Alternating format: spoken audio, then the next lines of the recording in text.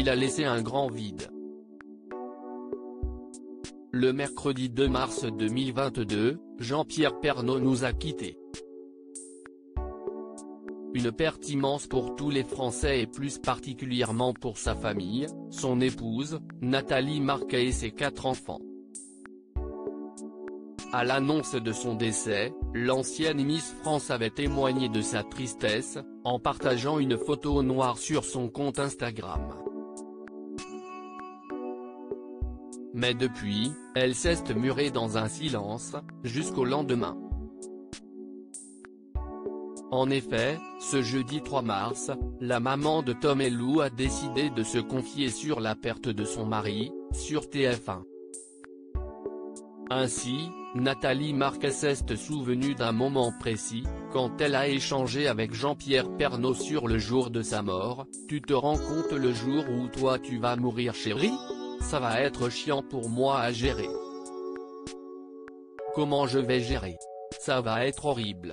Il m'a répondu T'inquiète pas, quand je ne serai plus chez TF1, tout le monde va m'oublier.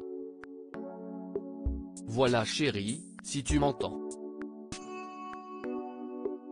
Je voudrais remercier les gens, son public pour les messages d'amour, les fleurs, a-t-elle déclaré, très émue. Nathalie Marquet a aussi évoqué le combat de son mari face à la maladie, il a lutté jusqu'au bout, il a été super fort. Pourtant Jean-Pierre, c'était quelqu'un qui se plaignait pour un rien des fois. Une petite grippe, un petit bobo.